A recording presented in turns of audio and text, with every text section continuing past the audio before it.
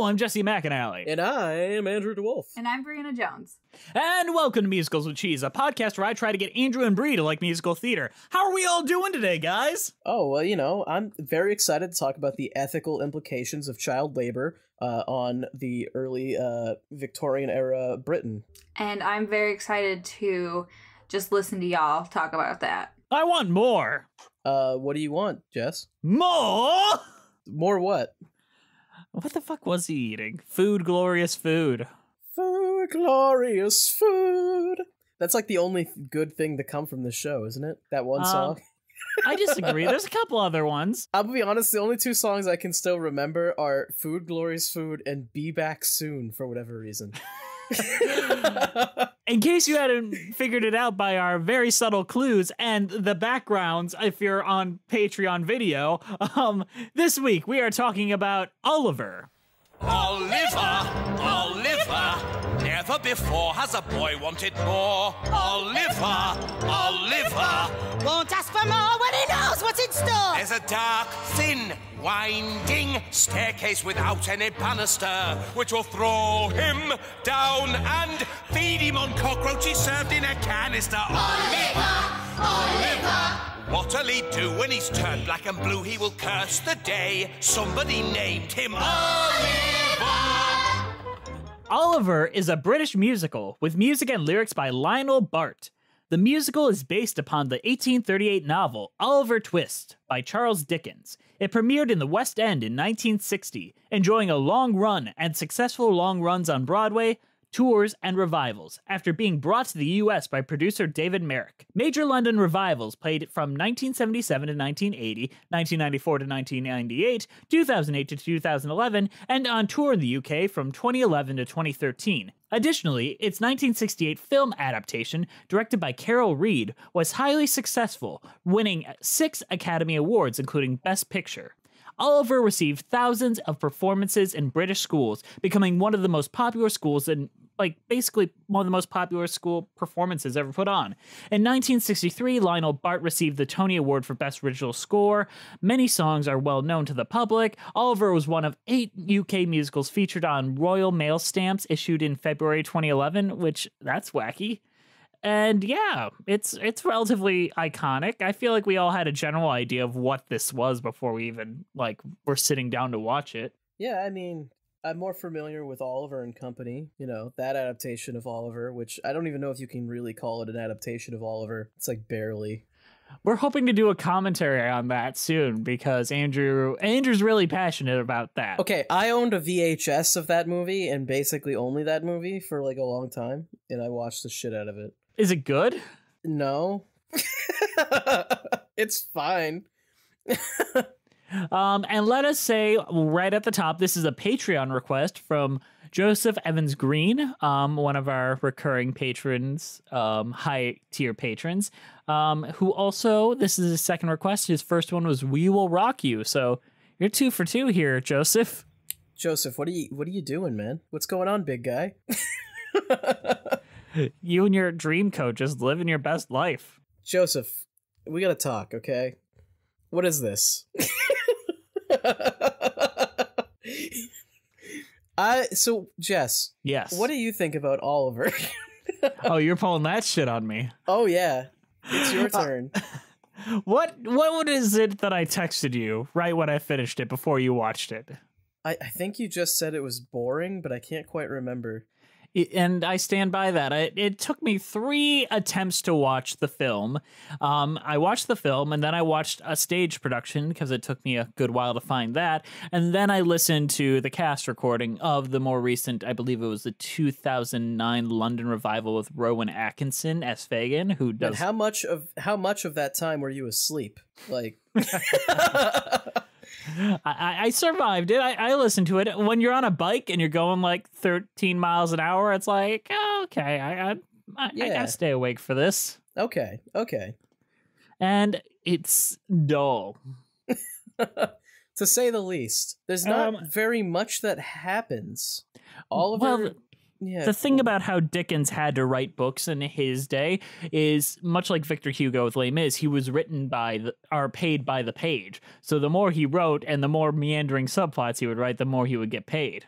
Yeah. So that's why you jump from little boys to girl and bar to like robbers and artful dodgers and all that shit all over the place. No structure. Yeah, and it's just it is a slog to get through because there's so many characters that have no purpose.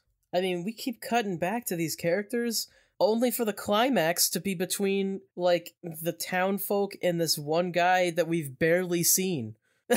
like the main villain I think has maybe one song in the entire show and it's in the second act. But he has a presence, Andrew. No, you he feel his doesn't. presence. No, he fucking doesn't. He does not. So, Andrew, tell me what happens in Oliver. Oliver is a boy who works at a workhouse. I assume he's forced to work there, or he's like an orphan or something like yeah, that. Yeah, he's an orphan, Uh, so it's it's like you know, and you hate orphans. I do hate orphans, so they do deserve the workhouse. That's fine.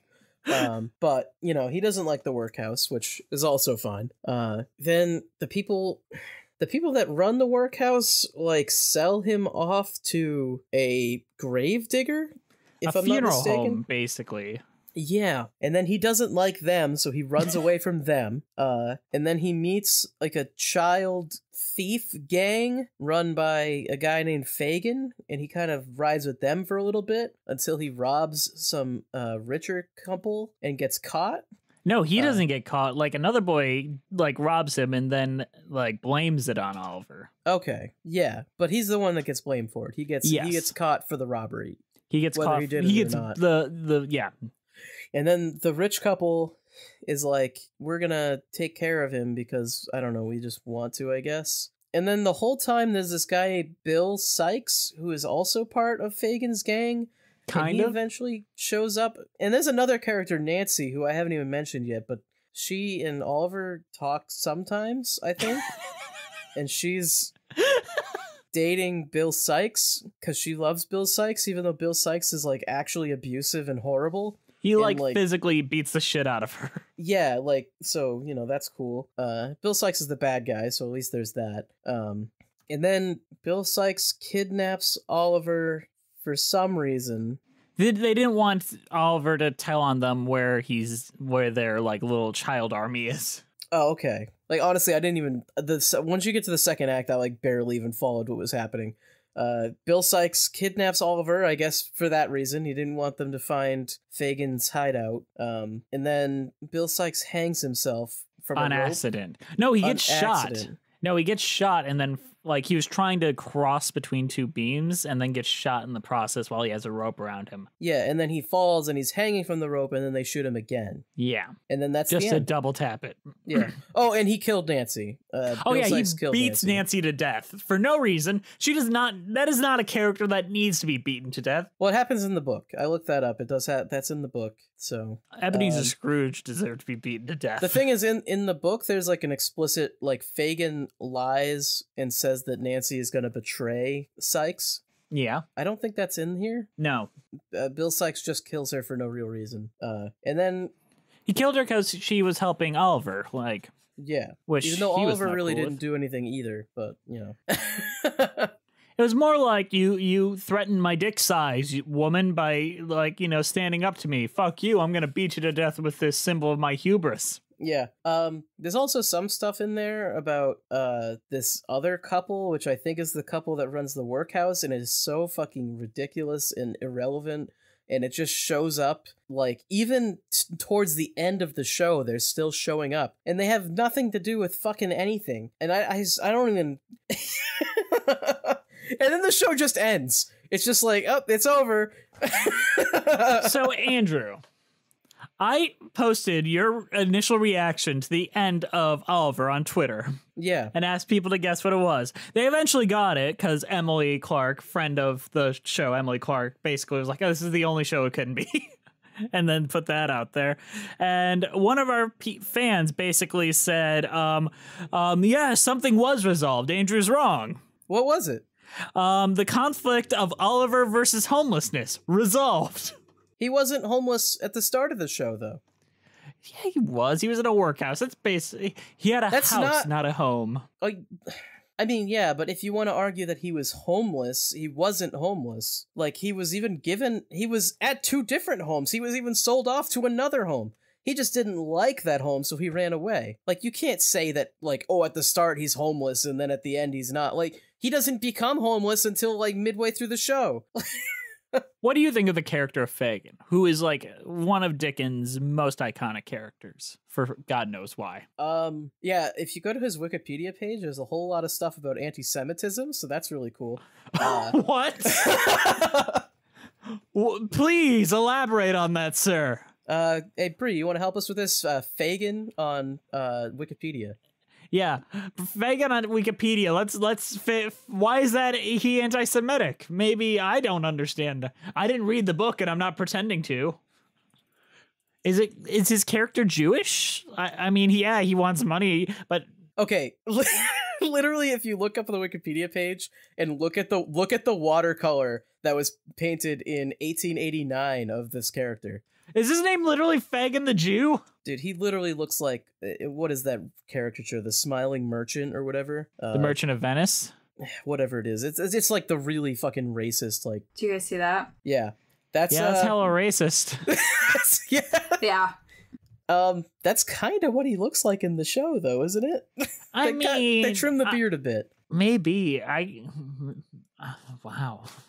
Maybe I just wasn't thinking anti-Semitism when I was watching this children's musical. Okay, well, while I was watching, it, There's I an was, uh, entire Wikipedia page called "Racism in the Work of Charles Dickens," and it's like, holy shit.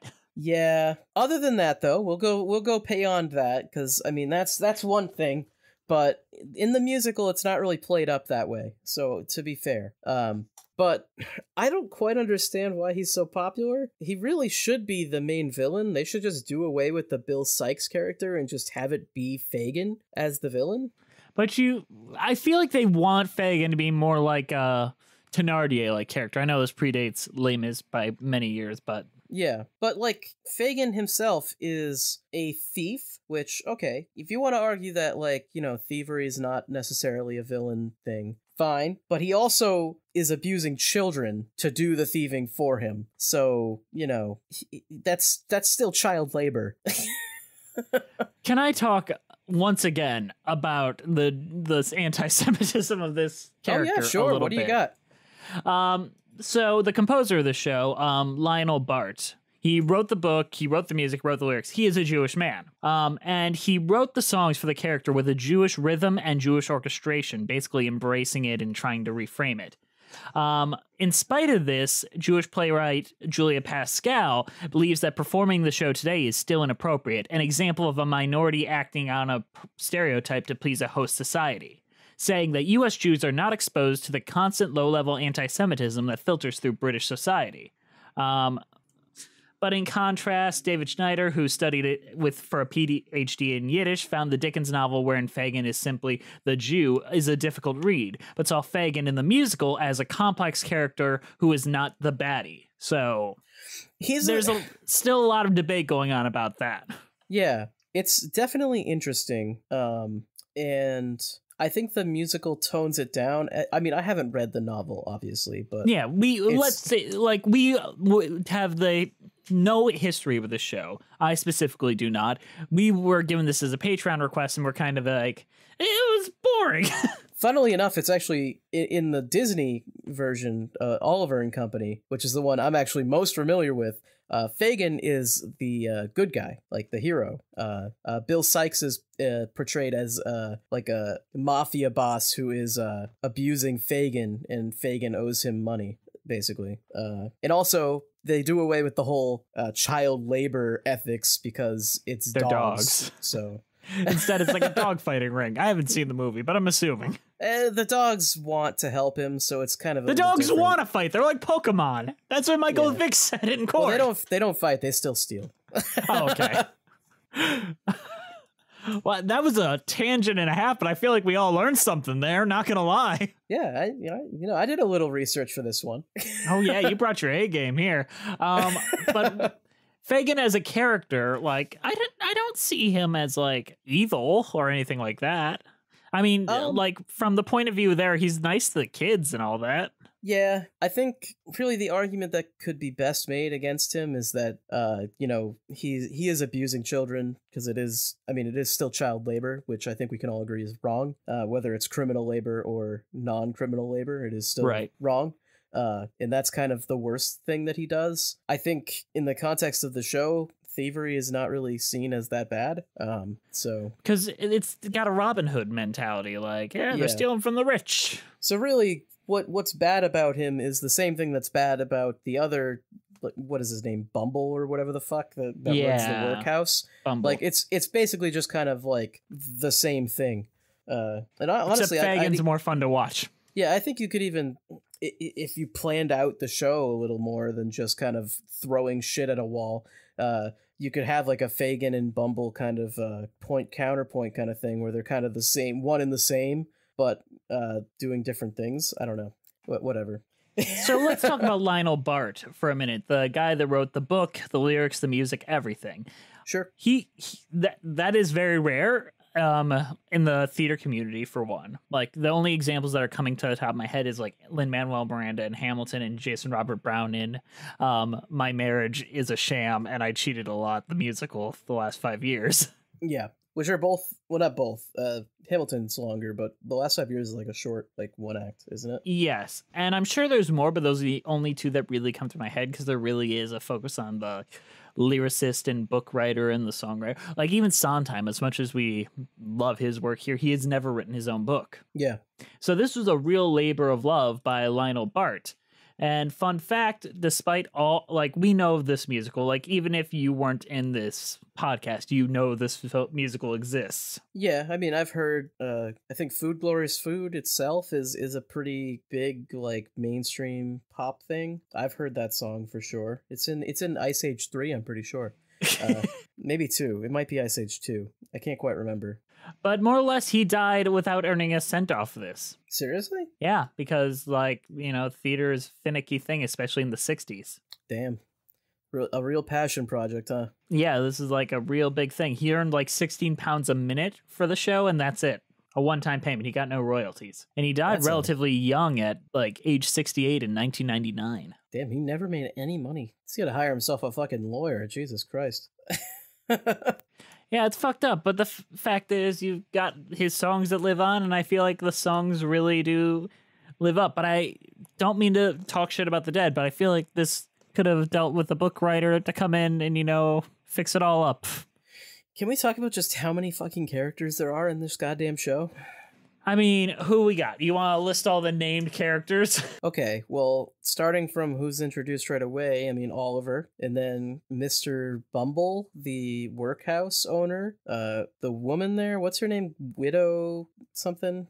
Widow Corney. Yeah. Um then there's uh Mr. Sowerberry and Mrs. Sowerberry, who are the funeral home people. Uh they have a work hand that comes in for like one scene who is also Noah? named. Yep, also a named character. Uh then we have the Artful Dodger, uh and Nancy and Bill Sikes, who are all part of uh Fagin's gang. Uh so there's like four more people right there. Um Don't forget old Sally, the nurse at Oliver's birth.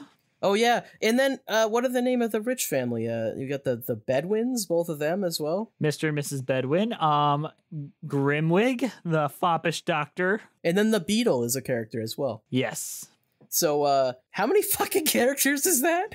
Too damn many. But the thing is, we remember most of them. Um, barely though is a thing, and some of them like some of them come back, and some of them just don't. Yeah. like I think the sour berries don't come back. I don't think. Uh, the Bumbles come back though. Uh, they get married, and they have like a they have their own song, don't they? Yep. Oh my god. What we're saying is, and a lot of that stuff is cut in the movie. Like, I will say that. Well, and, and it should be. hmm Uh, this is the thing where I do not enjoy this show as a whole. I do not think it works as a show. I think the movie works better. Um, as boring as the movie is. I think the problem with Oliver Twist, as far as I can tell, and this is based off this adaptation and the Disney adaptation that I've seen, is Oliver is not the main character. No, And there really isn't a main character. I mean the closest thing, like structurally, the musical don't make sense. Let's talk about that for a second. Yeah, I mean, So there we is got- no, there is no like, We got two opening numbers, basically. Um, you have Food Glorious Food, which is an introduction to the workhouse. And that's followed up with Oliver, an introduction to Oliver. Pick one. You could have one or the other. You can't have both. I think "Food Glorious Food" is the "I Want" song. I disagree. I disagree because we got like five songs later um, to "Where Is Love," which should be the "I Want" song, and the movie restructures to be the second song ish, if you consider "Food Glorious Food" slash Oliver Yes. Oliver to be the same one. But the problem is that song is like fucking thirty minutes into the show, so I don't think Yes. you can count it. but it is the I Want song for Oliver, and it is the first song that can be considered really an I Want song.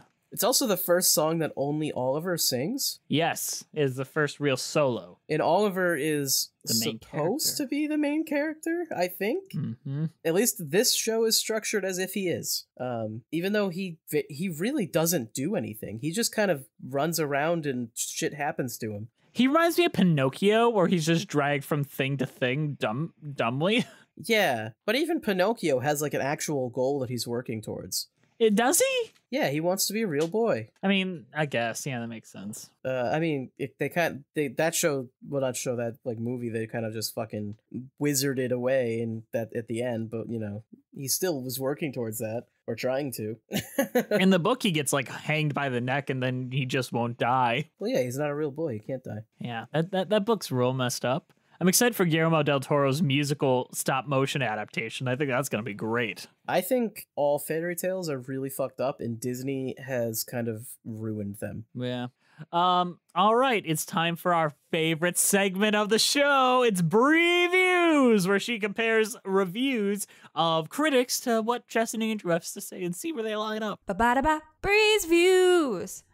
Roger Ebert reviewed the film saying the weakness in the stage musical Oliver is that they made too much of Oliver and didn't quite know what to do with him.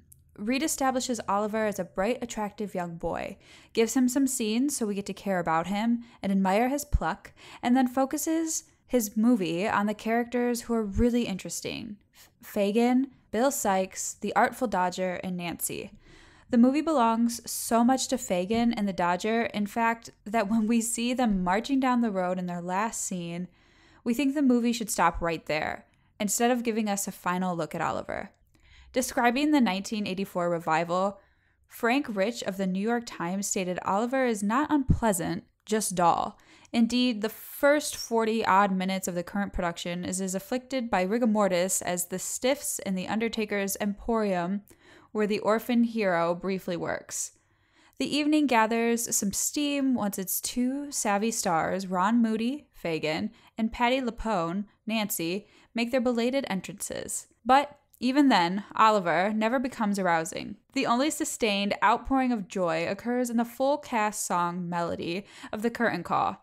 At a critic's preview, the audience's biggest hand was a chord to the villain Bill Sikes' dog. I am inclined to agree with Roger Ebert about the film specifically. They restructured it a bit to be much more about like Dodger and Fagin. I think And also- that Dodger and Fagin are just more interesting characters in general, though. Oliver has nothing. He has love in the end, kind of. He found it.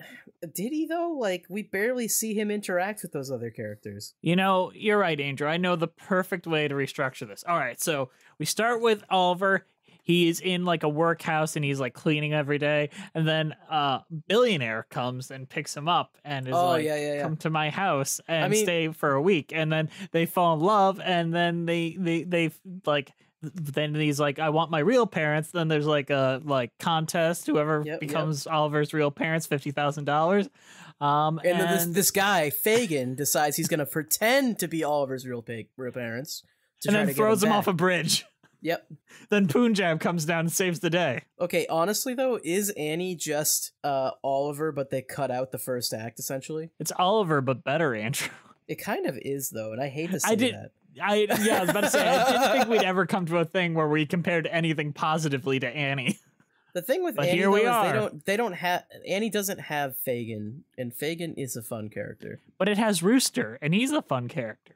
That's true. Um, this is why I think that we should we really should talk about Oliver and Company because Oliver and Company makes Oliver into a cat that doesn't even fucking talk. Like the entire show, it maybe has three fucking lines. Like what should I worry? Why should I care? Billy Joel is Dodger. Like Why is he just Dodger? Is he no longer artful because he's a dog? yes, dogs cannot be artful because they can't play piano. Because they're too fartful. All right, on that note, let's go on to a mid show announcement.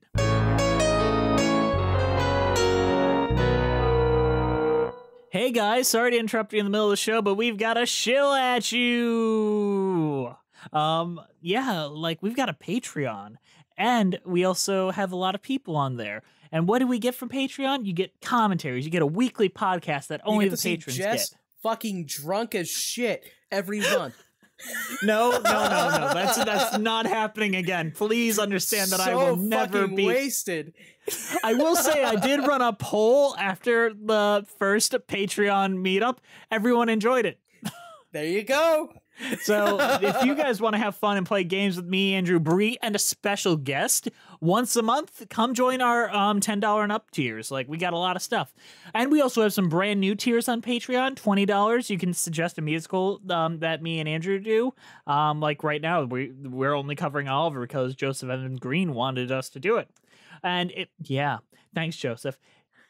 Fifty dollars. Um, if you stay on for one month at the fifty dollar price point, you can make us read whatever you want on the podcast. Um, one full paragraph. Um, and we can we'll we'll just say it. Like you got got gonna propose to your girlfriend. How about Andrew and I propose for you? Man, I can't think of a worse idea. We would fuck that up so bad. You guys would probably break up immediately. You guys would say some inappropriate shit, and then yeah, they'd break up. A hundred dollars, Andrew, and they get to be a guest on the show. You want to sit here and talk about a musical with me and Andrew? Pay a hundred dollars for a full month. You can do it. Jess will be drinking that entire month in anticipation. And I literally every day until I get there, and then I just can't talk. It's gonna be great. So who's currently on our Patreon, Andrew? Oh, let's see. We have quite a few. We've got uh, Terry Needleman, Max Lunig, Benjamin Learer, Lily Ackles, John Donna, Jess the Stampede, Ewan Cassidy, Haley McDonald, Taskier, Fire of September, Mina Maniri, Monica Thoreau, Brent Black, Haley Murray, Alice in Wonderland, B-Way Flicks with Daniel Stacy Coombe, Luna Rocks 222, Irrigale, Drouet, Whiter, Carrie Ahern, Christine Malmadel, Mezzanine Theater Diary, Mary Lou Choquette, Anne Nunnally, Cole Birchfield, John Vanals, Holy Sticality, Russ Walker, Musical Hell, Emily Grace, Andrew Van Barson, uh, Emily Stack, Kyle Summer, Mr. B, Janae C, Kyle, Christina Francis, Jessica A, Skylar, Liz Lim, Corey Wilmarth, Allison Stuller, Nothing is Certain Except Beth in Taxes, Ren uh, Cullen, Thespian, uh, Elizabeth Le- Victoria Tribble, Alex, Joseph Evans Green, Wait in the Wings, uh, we know him, uh, Jamie Holland, and Spectacle Machine. They give us a little extra financial support that helps us keep the lights on here at Musicals with Cheese and pay Bree and keep her listening to our nonsense once a week. Once a week. And just know, like with your like with your contributions, you're making sure that Bree has a house over her head right now. Just just Now. think about that. and I don't go hungry. Yeah. But we do have one other way if you'd like to support us and you don't want to get nothing out of it. Not that you get nothing out of the Patreon. Yeah, I'm about to say they get sh- a lot of shit they out get of a our lot Patreon. of shit. But if you want something physical, you know, like you want to have something in your hands from it, we had a fucking merch store. Let's go. uh, We're selling so much shit on there. It's uh it is actually a lot of stuff. We got blankets, tote bags, t-shirts with a bunch of different designs. We've Uh, got pet, masks. pet hoodies. I mean, come on. What what do we not have here? And uh it's on uh teespring.com uh slash musicals with cheese uh, store. Is that right? Yeah, something like that. I don't know. Apparently, remember like a few months ago when I was like, I don't want to be involved in this. I did it in a day because Andrew was so fucking lazy. He didn't ever do it. Yeah, that's what it was. Uh, all right, yeah, buy our shit and send us pictures of you wearing our shit. Yeah, we're excited to see people wearing it. Uh and I'm going to get myself one of those fucking blankets cuz they look damn nice. I know. I was. That's like the first thing I knew I wanted. I want the tote bag. The tote bag is cool. So I think, I think I'm gonna order that. All right. Well, let's get back to the show then.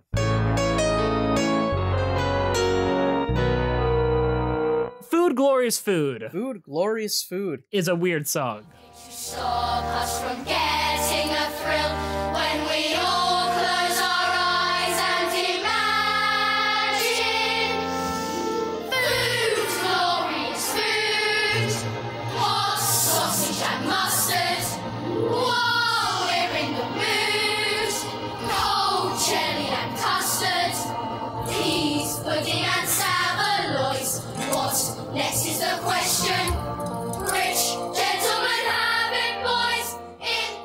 What do you think of it as an opening number? Bad opening number. It doesn't really make sense. I mean, it, it makes sense, but it doesn't set like anything up other than that they want food. Ye- yes, and it's like we gotta have all. I, logically, I understand why it's here because we gotta set up like all the artful Dodger boys that we're gonna see in act l- later in the act, and give them something else to do aside from saying "I'll do anything" and all that. Be back soon. Yeah, like we need to give them a, a little fun choral part in the opening part of the musical. I I get it logistically.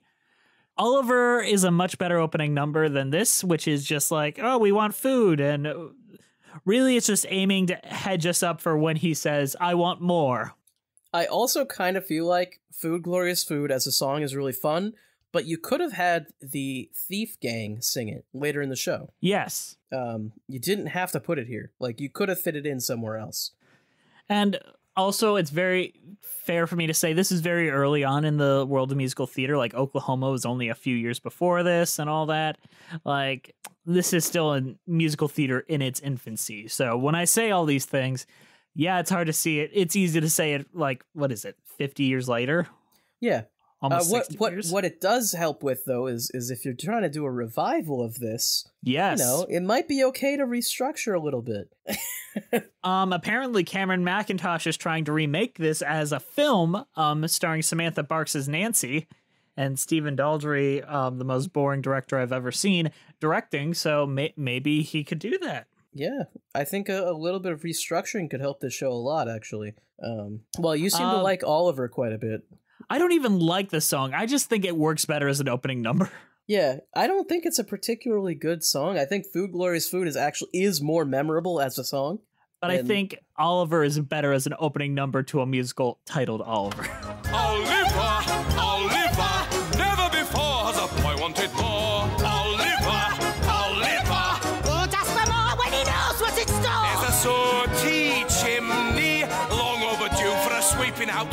will push him up.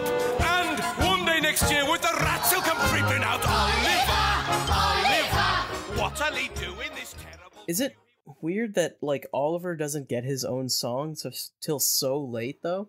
yes, it is. In we fact, just start we start focusing on Mr. Bumble, who is not a major character, secondary character at best. tertiary. Like I, I wouldn't even call him secondary. like, and he he gets the next like three songs. uh, it's a bad choice um and the movie corrects that by basically after oliver there's just a little bit of boy for sale and then just straight into where is love and it works better yeah, I mean that's if I were looking at this, I, I think that would be the first thing I would do is just drop all the shit with Mr. Bumble. I would cut Mr. Bumble from the second act too, because honestly, what the fuck is he even doing there? What? Why? Get rid of this character. he's bringing the laughs he's bringing the chuckles There is no laughs to be had when he's here. I'm sorry. This really isn't a comedy show. It's not that funny. what are you talking about a girl gets beaten to death hilarious Honestly. y'all are missing bree's face right now Beating women isn't funny. isn't funny Until That's they the joke. die, then it's funny. okay oj simpson um Whoa, nothing was ever proven. he he he lost the civil court case, so yeah, something was proven. He Remember is the when- reason. Remember when, remember when he wrote that book and it was just titled "I Did It," and then there was like "if," but it was like tiny. that was a request by the Goldman family because he was originally just going to title it "If I Did It," and then the Goldman family was like, "No, you're going to make the "if" really small and then just put "I Did It" on the cover." Because it's Fucking- great because they run the entire um, Simpson estate. Um, and yeah, good for them. Um, I guess we got to talk about the iconic ones now. Um, consider yourself. Consider yourself at home. Consider yourself one of the family. I've taken to you so strong. It's clear we're going to get along. Consider yourself well in. Consider yourself part of the furniture. There isn't a lot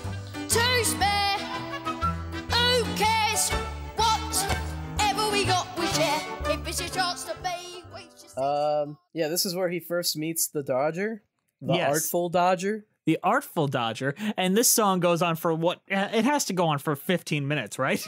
It doesn't end. Uh, they get the whole town involved, and and like everyone starts singing it, and I'm just like, what is fucking happening right now? You're being entertained, Andrew. Don't you love theater? You're being entertained. It's gonna. It's it's the escapism you I thought you wanted when we started this show, Andrew. I think now I kind of feel like what you're saying when you don't like that they start dancing for no fucking reason. Cause like this, they're just dancing for no fucking reason. And I, I don't mean to be negative about this show. I get it. It's iconic and likely will last much longer than all three of us combined, like life importance. Like it'll last beyond all of us, and we're just snarky internet idiots. But You know what? It's fun to be snarky about shit that is fucking dated as fuck, though. I mean, come on. it is, it is. I think the song's catchy though. like legitimately catchy.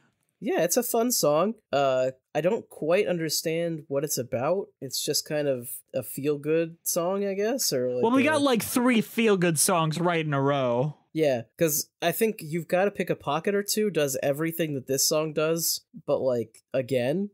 Well, no, you got to introduce the Dodger. He gets his own song, and then Fagin gets his own song, and then the Nancy and the group gets his own song, and then uh, Nancy, the group, and Oliver gets his own song. Yeah, and it's just like, why? Why is this happening? Um, let's just mash together "It's a Fine Life" and "I Do Anything" because we because consider yourself and you've got to pick a pocket or two are basically a continuation of each other. Got to pick a pocket or two, boys. You've got to pick a pocket or two. Why should we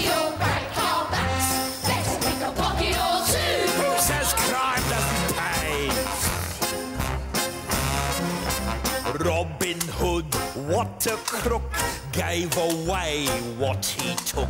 Charity's fine, subscribe to mine. Get out and pick a pocket or two. You've got to pick a pocket or two, boys.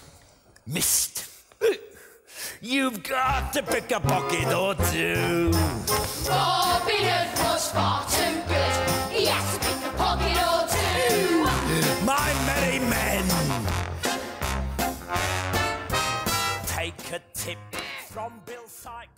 You got to pick a pocket or two. I actually like a bit better, just because I think Fagin has uh, a bit more fun with the song, and it doesn't have as much over the top whole town dancing for no reason. Bullshit and you also hate on. kids in general when they sing. I mean, it's not like I hate that, but yeah, I don't know. Just it, kids don't have a developed voice, you know. It and I also feel a little awkward. It's like, how late at night are these kids up on stage? You know, like what, what's going on here? Child labor for the arts is still child labor. You know, eh, make a point, Andrew. I feel like you should start picketing the the shows of Annie and Oliver and Dude, Matilda. if I could, if if I could just get Annie to stop playing forever, it would be my life dream come true. No, Andrew. What they're gonna do is they're still gonna play Annie. It's just they'll have full grown ass adults in like. That'd be funny as shit, though. I'll watch that. oh, Daddy Warbucks, and they're like fucking eighteen. I'm so glad I'm a. ado- It's gonna be like Chris O'Donnell in the Batman movies. Thanks for adopting me. My Thanks for adopting me, my dude. I gotta go into the bathroom and shave. Uh, Um, what do you think of I Do Anything?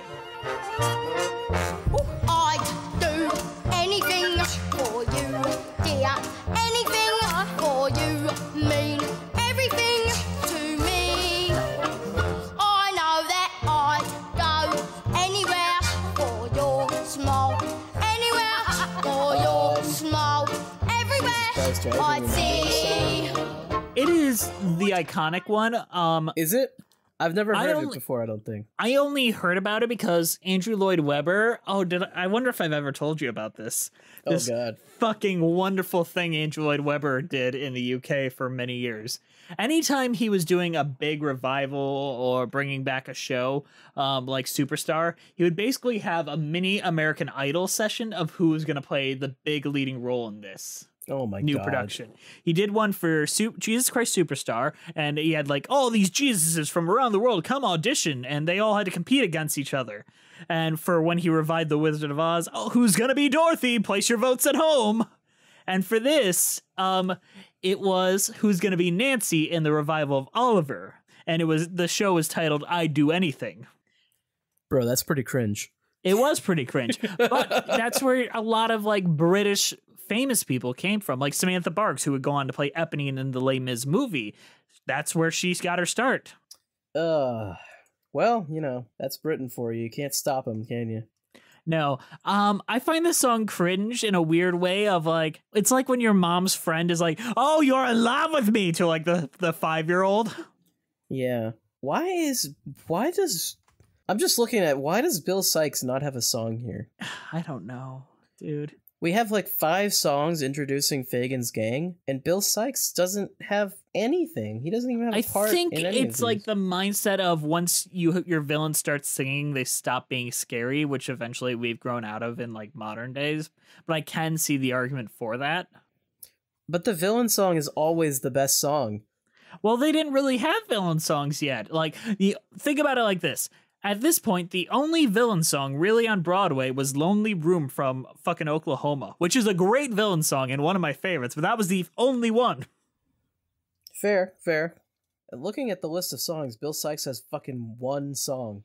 And Nancy has like 25. Yeah, and they don't have any songs together, even though they're supposed to be a couple. I mean, they're not a good couple. Well, no, but even bad couples usually get songs together. All right. Um, I know you want to talk about "Be Back Soon" because it's your favorite song of the entire show. I just, for some reason, remember this song. Be back soon. I don't. I don't know why I remember this song. You can go, but be back soon. You can go, but while you're working, this place I'm pacing round until you're home, safe and sound. Fare thee well, but be back soon. Who can tell where danger's lurking? Do not forget this tune. Be back soon.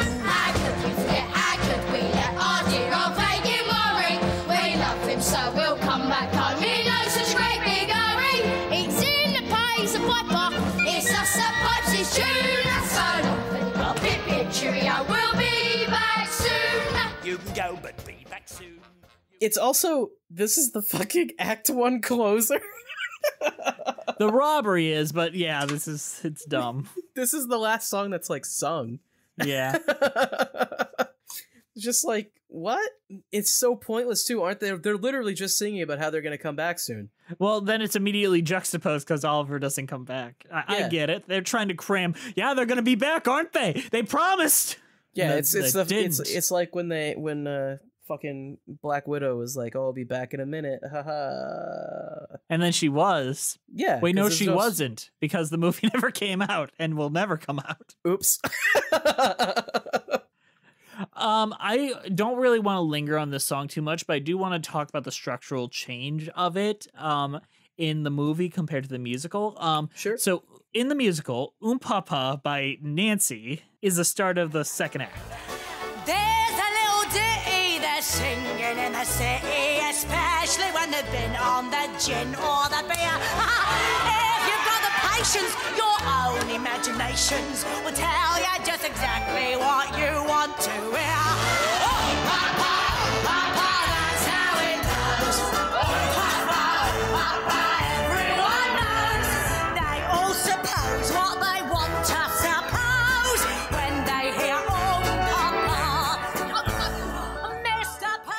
Is there a cause for why she's singing it? Like, really? I, I think she just kind of is like, ah, let's hang out and be fun. Yeah, honestly, I don't fucking remember at all. I, and honestly, the only part of that has impact that had any impact on me w- during Act Two at the opening here is uh when Mrs. Bedwin starts singing "Where Is Love" because it's like, oh, that's a song Mhm. that I remember. That okay. Oh, we're back in the story. Okay. yeah.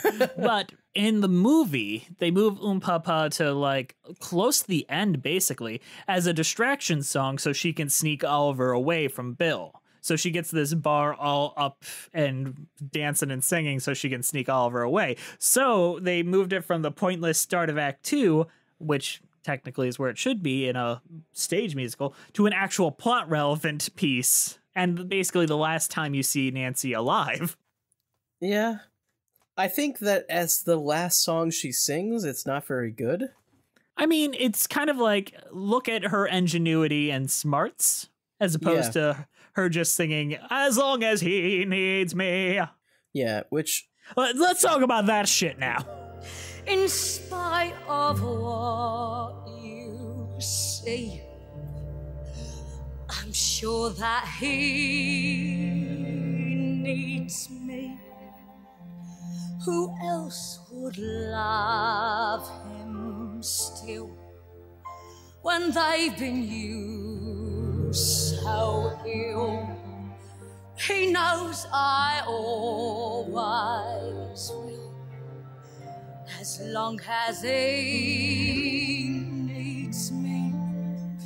I miss him so much when he's gone. But when he's near me, I don't let on the way I feel inside the love I have to hide. The got my pride as long as he needs me. that song is kind of depressing. Like That song is depressing. horrific, and people like have sung it on their albums. Barbra Streisand sings it, like people perform it live, and it's about a girl justifying why she's with her abusive boyfriend. Yeah. I mean, I can understand a song like that existing as long as it's framed properly. I don't know if I can say that this is framed properly. It is not. Um, because I've heard this song independently of this musical for years, and I was like, "Oh, it's just about a girl that's like dedicated to her boyfriend." Then I watched it in context, and I'm like, "What the fuck?" Oh, it's about a girl that's dedicated to her abusive boyfriend that then kills her. Yeah, right before he kills her, she's singing like, oh, "As long as he like," and I've never done nothing wrong. I never betrayed you, and then he just beats her, beats To her to death. Uh, in the um, apparently in the book, there's a, a scene because everyone likes Bill Sikes' dog. There's a part where Bill Sikes kills his dog or attempts to, uh, as well. So you know, I'm glad the movie and the musical didn't do that because that would be one step too far. You can abuse women, but as soon as you get into animal abuse, man, that character is unredeemable. I, I mean, Bill Sikes is pretty unredeemable, but Yes, he is. That was irony, Andrew. Yeah. Um, although I guarantee uh, people actually would have responded more more heinously to uh, a dog being killed than a woman being killed. But you know that just says something about our society. Uh, Yeah, society. um, All right, there's only one more song to talk about. Literally just one. Actually, that's a um, lie. I got one other one. Are we, are we going to talk about reviewing the situation or? Yes, but I want to talk about one before that. I, I lied. Okay. What do you want to talk about? The secretly best song in this show that literally has no point to be in it is pointless, but I love it anyways, and is the only one I like re-listened to and rewatched. Okay. Is Who Will Buy?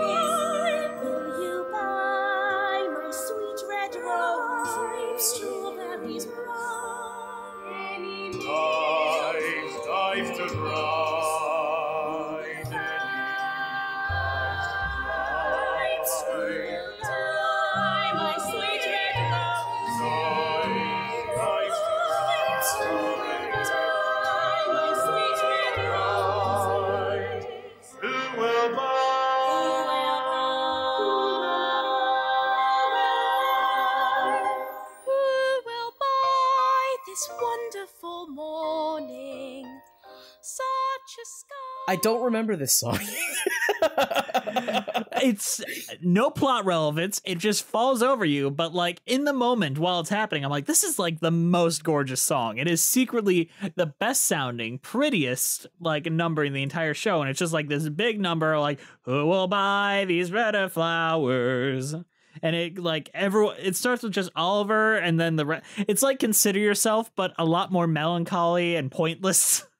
okay, let's talk about this though. Why is this completely pointless, irrelevant plot song this late into the fucking show? Yes, that was what I was going to bring up. In the movie, they put it, sit, put it right after the intermission because the movie has an intermission, and I think it works so much better there. Okay, yeah, that makes sense.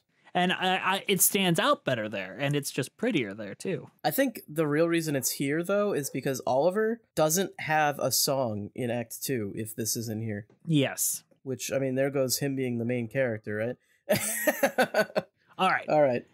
Reviewing the situation. The,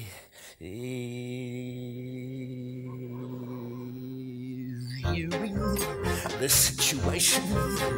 Can the fellow be a villain all his life? All these trials and tribulations. Better settle down and get myself a wife. And the wife can cook and sew for me, and come for me, and go for me, and go for me, and nag at me. The fingers she would wag at me, the money she would take from me, the misery she'd make for me. I think I'd better think it out again.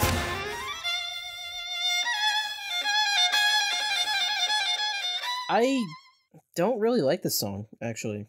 Explain. I'm curious. It doesn't really have much purpose. And literally, the entire song is just he's like, "Oh, am I gonna change my ways?" And then the end of the song is just, "Oh, I, I'm not going to change my ways," and that was it. I think this. I'm gonna agree with you that I agree that content wise, I don't love it. Lyrically, this is possibly the one song where the lyrics really stand out. Yeah, I mean, he, they play around with it a lot, and it, it's not like bad, but I don't know. And I appreciate that because I'm like, wow, those rhymes are like actually really good. The song kind of feels like the entire show, though, where it's just like nothing happens. I mean, stuff happens. It's just you know, it's like dive into the head of Fagin, and like we know what this guy's about for the moment he came on screen. Not gonna lie. Yeah, and that's really the last song of note in the show because everything else is a reprise. Mr. Yeah. Bumble comes back for a reprise because, you know, everyone wanted to see him. Uh, Nancy gets fucking killed after reprising her song. Um, Fagin does the same song again. And then the And then- show's over. then the show's Food, glorious food. Yeah. Um, they do have the big set piece with uh, Bill Sikes hanging from a, a rope. You know, that's cool. Wow. Call call Cameron Mackintosh. Like Yeah. fuck the chandelier crashing. Fuck that barricade. Like we got a man dangling from a rope. Yeah. I mean, back when this came out, that probably was like a big deal. It was like, wow. What are you talking about? You can go to the city square and see that any day you want. Well, that's I mean, that's real though. This is this is like fake stuff.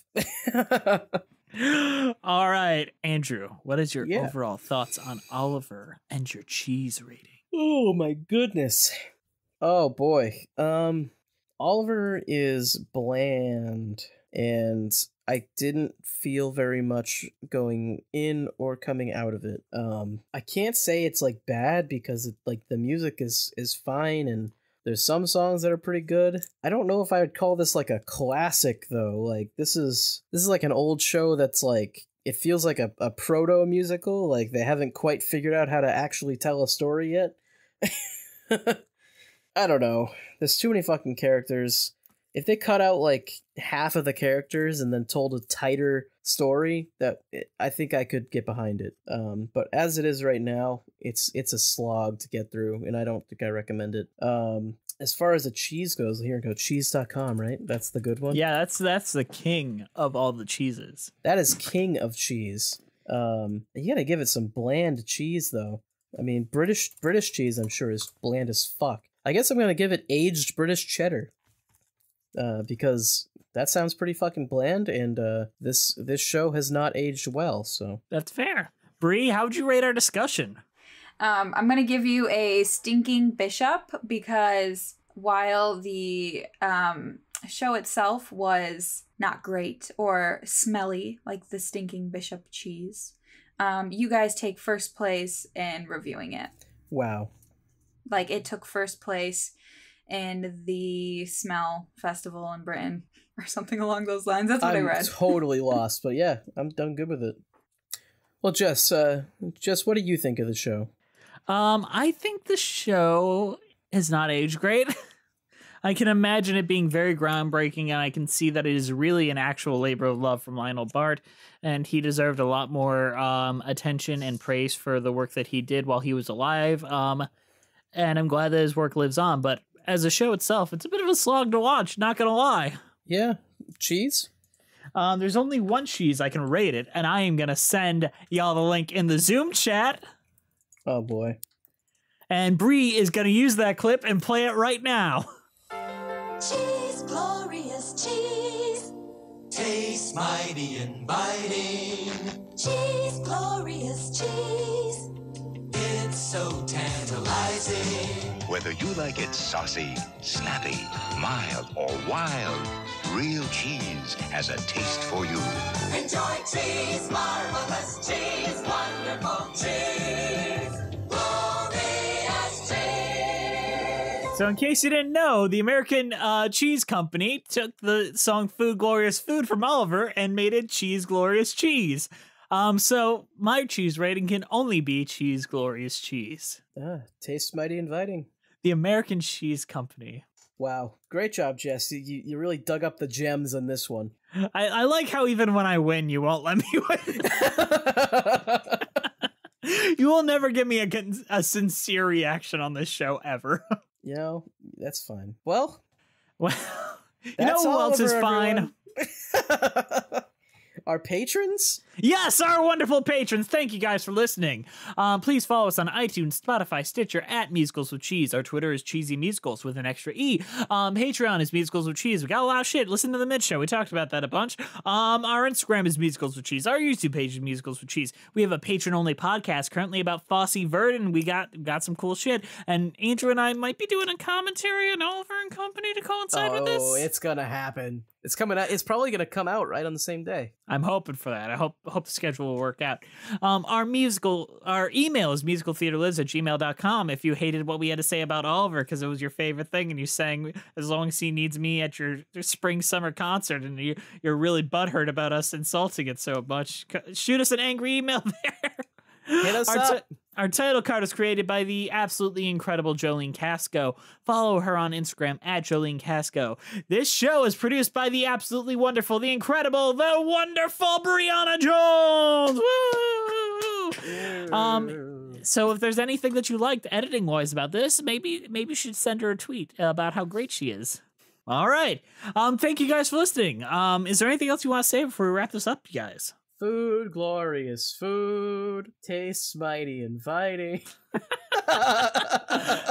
All right, and we'll see you next time on Musicals with Cheese.